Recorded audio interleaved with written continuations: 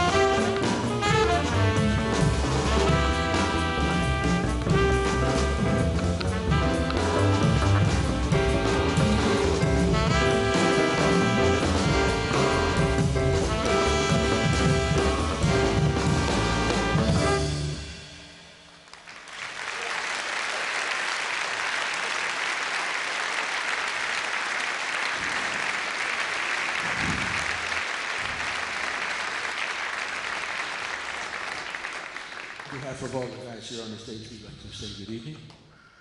We'd also like to say Guten Abend. I almost made that. that first piece of music was written by a guy that most of us up here on the stage sort of grew up with. He had a lot to do with music on the West Coast in the 50s. His name was Gerry Mulligan.